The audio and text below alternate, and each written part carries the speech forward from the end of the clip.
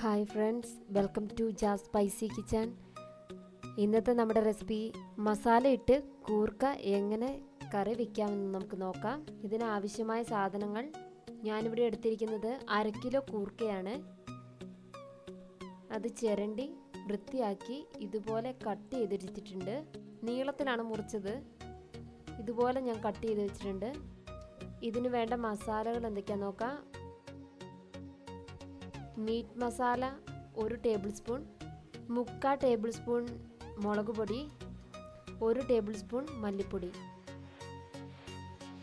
ഒരു സവോള ഒരുമാതിരി വലിപ്പത്തിലാണ് ഞാൻ ഇവിടെ കട്ട് ചെയ്ത് വെച്ചേക്കുന്നത് കൂർക്കയ്ക്ക് ഇച്ചിരി വേവ് കൂടുതലാണ് അതുകൊണ്ട് ഞാൻ സവോള ഇതുപോലെ കട്ടിക്കാണ് ഇട്ടേക്കുന്നത് രണ്ട് മൂന്ന് അല്ലി വെളുത്തുള്ളി എടുത്തിട്ടുണ്ട്. രണ്ട് തണ്ട് കറിവേപ്പില. ആവശ്യത്തിന് മഞ്ഞൾപ്പൊടി ആവശ്യത്തിന് ഉപ്പ്. ഇനി എങ്ങനെയാണ് നമുക്ക് വയ്ക്കുന്നത് നോക്കാം. ഒരു ചീഞ്ചട്ടി അടുപ്പത്ത് വെച്ച് ചൂടായി കഴിയുമ്പോൾ അതിലേക്ക് എണ്ണ ഒഴിച്ച് നമുക്ക് കടുക് പൊട്ടിക്കാം ഇതിലേക്ക് കറിവേപ്പില ഇട്ട് കൊടുക്കാം.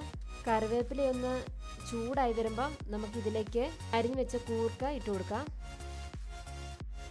ഇതിലേക്ക് നമ്മൾ ആ എടുത്തു വെച്ച സവോള മഞ്ഞൾപ്പൊടി വെളുത്തുള്ളി മീറ്റ് മസാല മുളക് പൊടി മല്ലിപ്പൊടി ഉപ്പ്.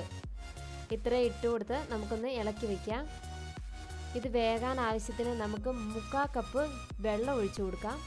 എന്നിട്ട് ഒന്ന് പൊത്തി അതൊന്ന് വേവാൻ വേണ്ടി വയ്ക്കാം നമ്മളിത് അടച്ചു വെച്ചിട്ട് ഏകദേശം ഒരു പത്ത് മിനിറ്റ് ആയിട്ടുണ്ട്. നമുക്കിതൊന്ന് തുറന്ന് ഇളക്കി കൊടുക്കാം.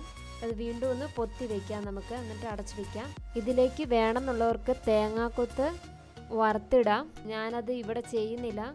തേങ്ങാക്കൊത്ത് വറുത്തിട്ടാൽ അതിന്റെതായ നല്ലൊരു ടേസ്റ്റ് നമുക്ക് കിട്ടും. നന്നായിട്ട് ഇളക്കി കൊടുക്കണേ. നമ്മുടെ വെള്ളമൊക്കെ ഒരുമാതിരി വറ്റിയിട്ടുണ്ട്. എന്നാലും കൂർക്ക അങ്ങ് വെന്തിട്ടില്ല. നമുക്കൊന്ന് തീ ഒരൽപ്പം കുറച്ചിട്ട് കൊടുക്കാം.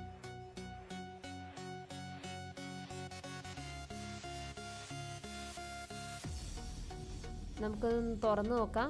ഓക്കെ നമ്മുടെ കൂർക്കയൊക്കെ ഒന്ന് വെന്തിട്ടുണ്ട്. തീ ഓഫ് ചെയ്ത് നമുക്ക് ഇതിലോട്ട് പച്ച വെളിച്ചെണ്ണ ഒഴിച്ചു കൊടുക്കാം. ഒരല്പം മതി കാരണം നമ്മൾ നേരത്തെ കടുക് പൊടിച്ചിട്ടുണ്ട് നന്നായിട്ടൊന്ന് ഇളക്കി കൊടുക്കാം.